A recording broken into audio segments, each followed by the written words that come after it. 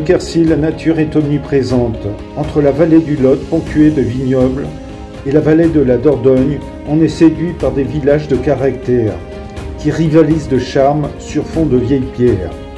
On aura l'occasion de visiter les villages de Carénac, Martel et Loubressac. Les villes ont un patrimoine remarquable, Cahors avec sa cathédrale Saint-Étienne et son pont Valentré, classé au patrimoine mondial de l'UNESCO ou l'extraordinaire cité de Rocamadour, perchée sur sa falaise, surplombant son canyon.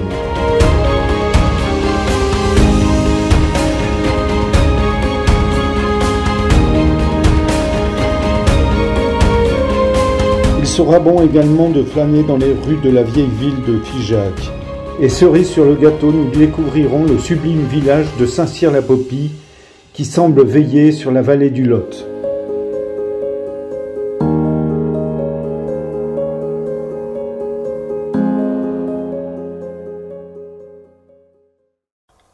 Prête pour aller te promener? Pour aller à Rocamadour?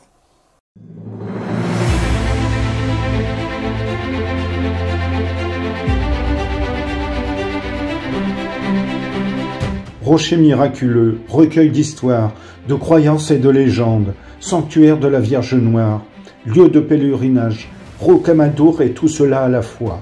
C'est aussi l'un des sites les plus extraordinaires qui soient. Les vieux logis, les tours, les oratoires dégringolent le long de la falaise escarpée, dominant de 150 mètres le canyon d'Alzouz, sous l'égide du fin donjon et de ses sept sanctuaires.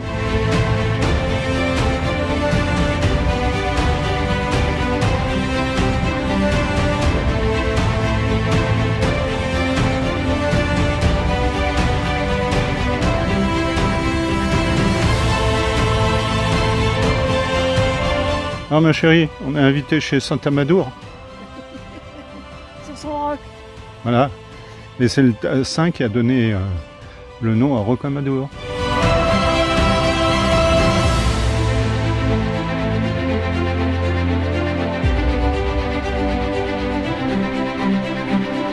Dès les premiers miracles et jusqu'à la Réforme, le pèlerinage de Rocamadour est l'un des plus célèbres de la chrétienté. Les y accourent avec plus de 120 miracles déjà recensés dans ses livres. Le livre des miracles de Notre-Dame assoit la réputation de Rocamadour dès sa parution en 1172. Les jours de grand pardon, où l'indulgence plénière est accordée, 30 000 personnes se pressent à Rocamadour.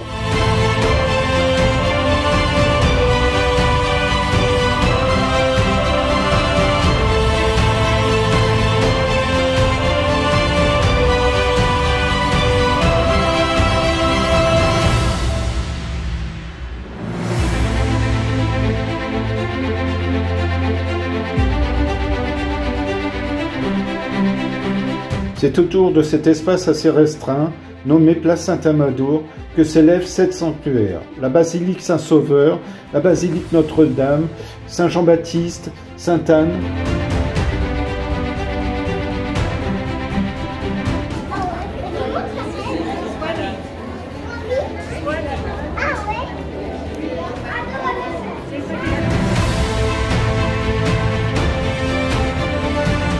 La chapelle Notre-Dame, appelée également chapelle miraculeuse, considérée comme le saint de saints de Rocamadour.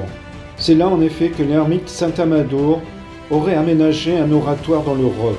Dans la pénombre de la chapelle noircie par la fumée des cierges, on découvre sur l'autel la Vierge miraculeuse, appelée également Vierge noire. Elle est assise portant sur son genou gauche, sans le tenir, un étonnant enfant Jésus, au visage d'adulte.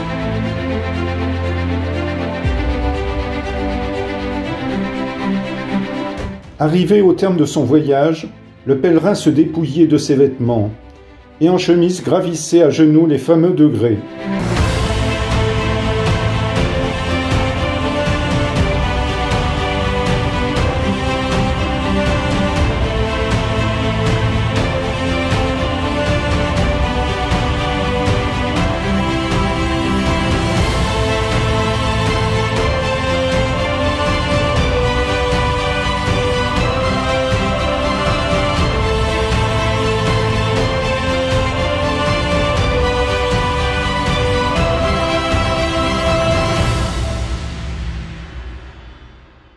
Quel sourire, ma chérie.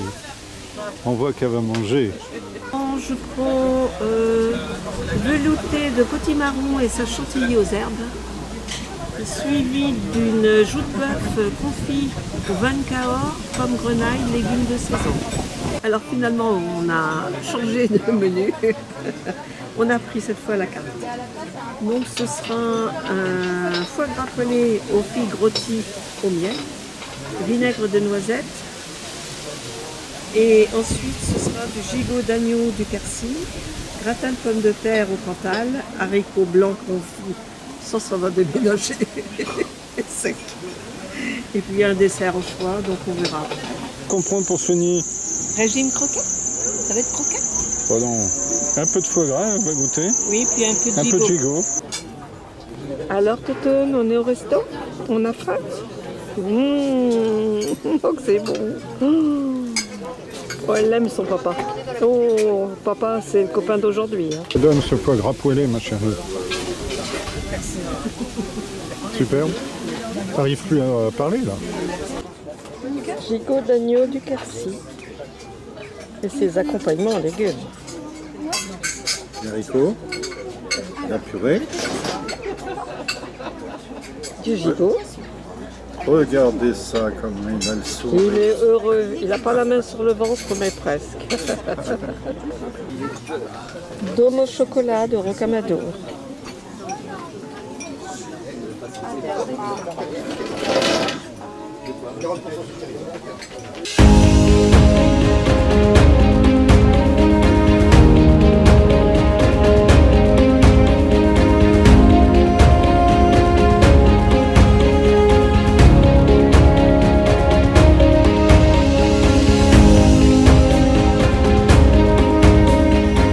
Situé à 70 mètres au-dessus des sanctuaires, le château de Rocamadour offre aux visiteurs un panorama exceptionnel sur la vallée de l'Alzou et une vue vertigineuse sur la cité.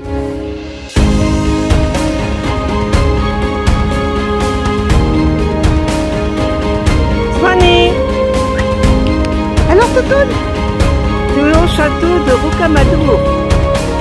Quand même, sur les remparts. Elle a de la chance.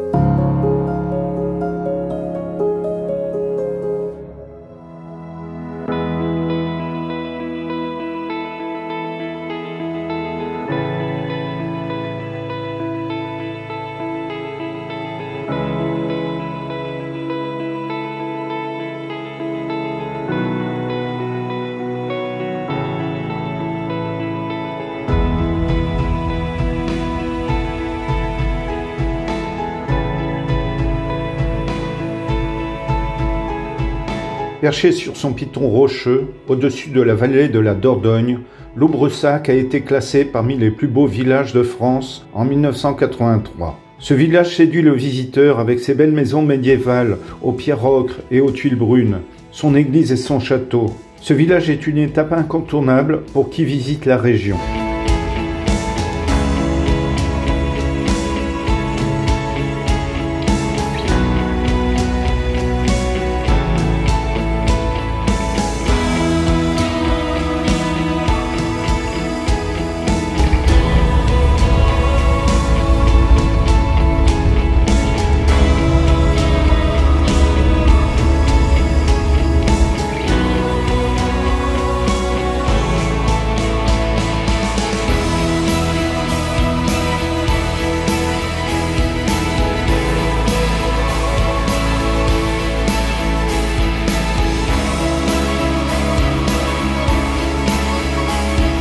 Classé parmi les plus beaux villages de France, le village médiéval de Carénac, sur une terrasse rocheuse, s'étire sur les berges de la Dordogne. Il semble que rien n'ait changé depuis le XVIIIe siècle, mais la promenade dans les ruelles en surplomb de la Dordogne n'en manque pas de vie pour autant.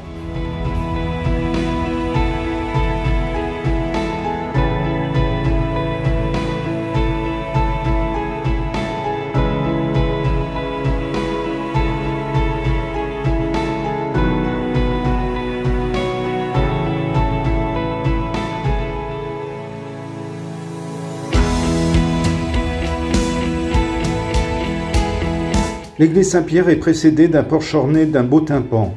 Au centre de la composition, le Christ en majesté, la main droite levée en signe de bénédiction. De chaque côté, les apôtres.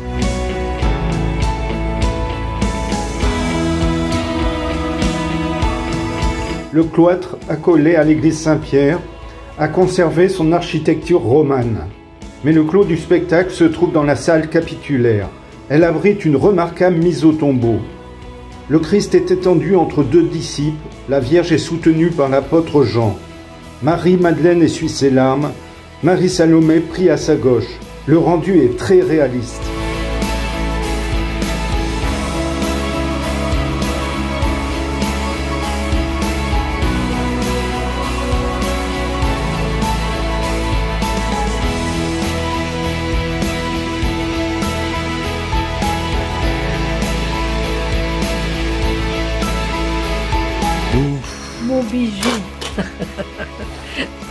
Non, c'est toi ça, Samy. Ah bah oui, bien sûr. Mon bijou.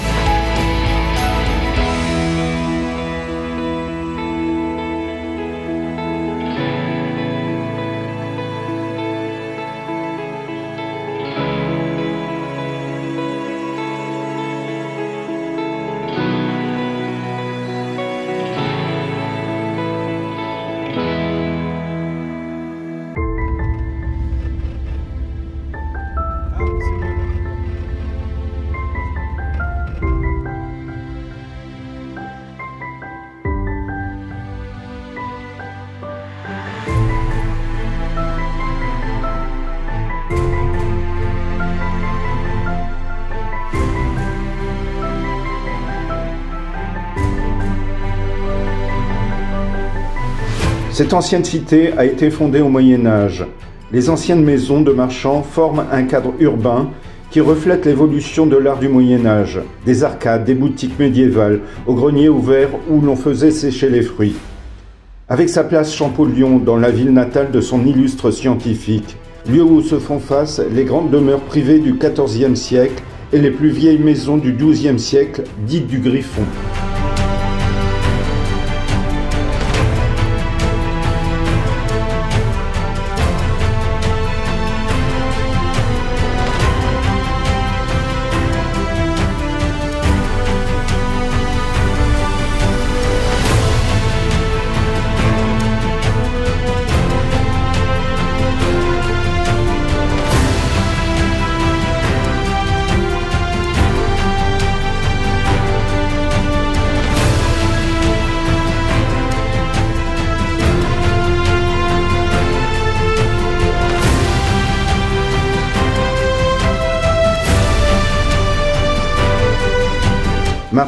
Une petite cité médiévale de la vallée de la Dordogne. Son surnom, la ville aux sept tours, avec ses clochers, beffrois et autres flèches. Un axe antique où transitait le précieux sel de l'Atlantique et le vin d'Aquitaine. Avec sa place des consuls occupée par une halle du XVIIIe siècle, autour de laquelle les cafés ont installé leurs terrasses.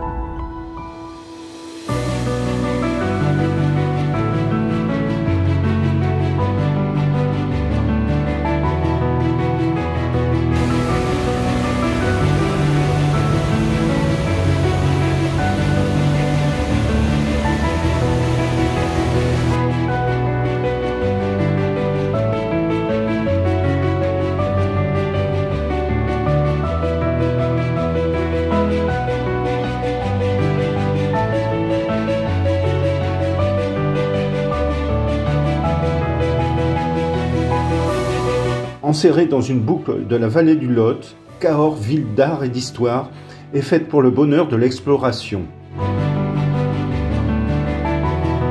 Le pont Valentré, emblème de la ville, franchit le Lot en portant ses trois tours fortifiées. On peut y flâner à pied ou l'approcher en bateau au cours d'une balade sur le Lot. Édifié au XIVe siècle, le pont Valentré est inscrit au patrimoine mondial de l'UNESCO, au titre des chemins de Saint-Jacques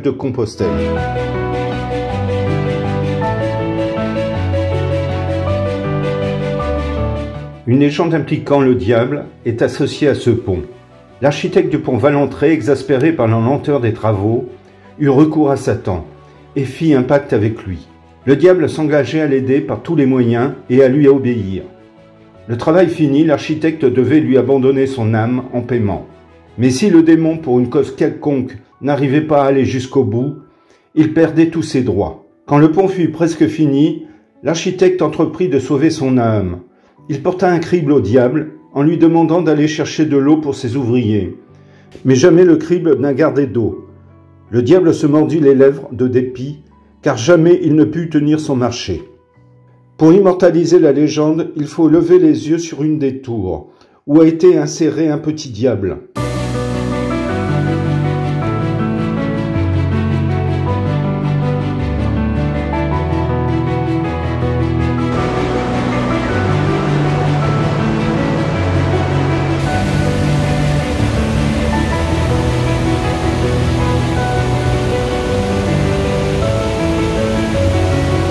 De style roman byzantin, la cathédrale Saint-Étienne a fêté son 900e anniversaire en 2019.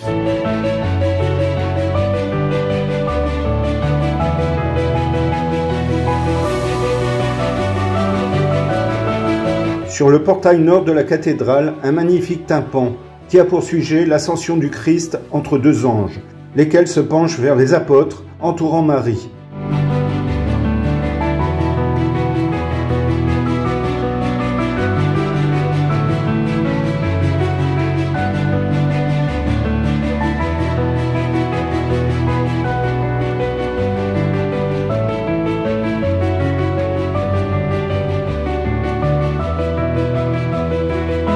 Cathédrale est surtout réputée pour son trésor, la Sainte Coiffe, qui serait le linceul qui aurait recouvert le visage du Christ lorsqu'il fut conduit au tombeau.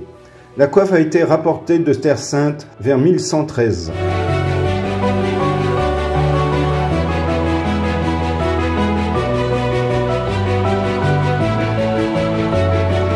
Le cloître, véritable chef-d'œuvre de l'art gothique flamboyant, n'a jamais été achevé. Il offre une riche décoration sculptée.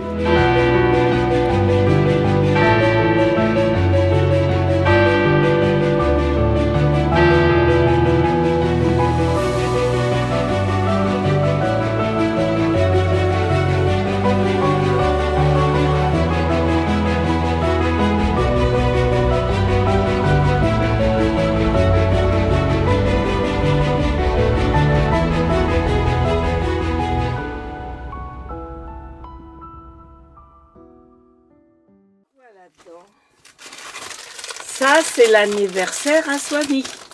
Un an. Soigny, elle a un an. Est-ce qu'elle va prendre son cadeau, Soigny Ce pour le défaire. Tu sais pas le défaire? Fais ton cadeau ou pas? Elle n'arrive pas à retirer l'emballage. Ah bah voilà.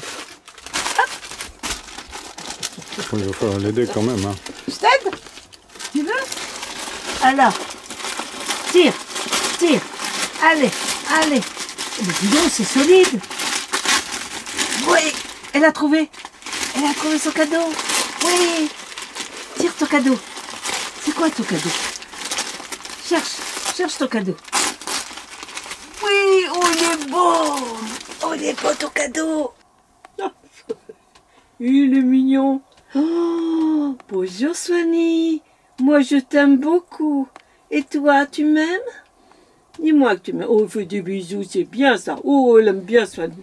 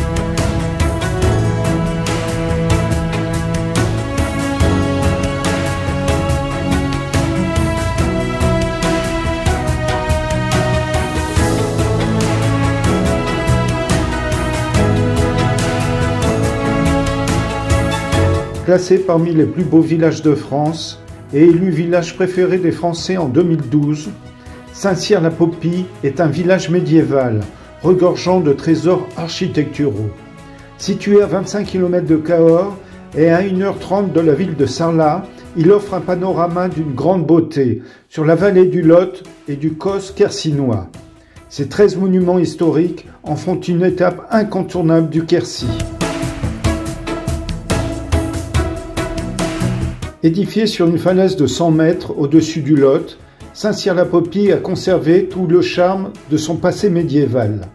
Ces ruelles nous plongent entre le XIIIe et le XVIe siècle, avec ses nombreuses maisons aux façades en pierre et aux toits de tuiles plates.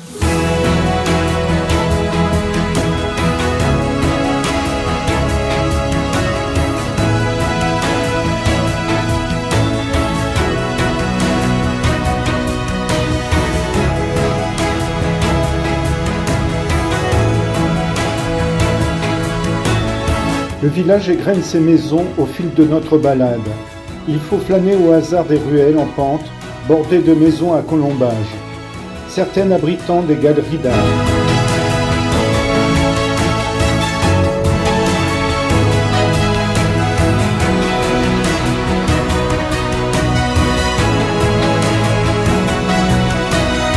Bâtie sur une terrasse rocheuse dominant le Lot, l'église a été édifiée au XVIe siècle.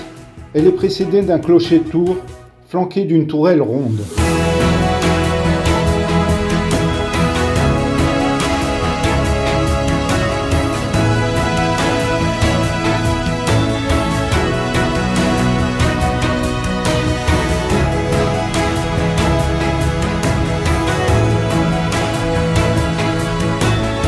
Le fort de Saint-Cyr-la-Popie domine le village.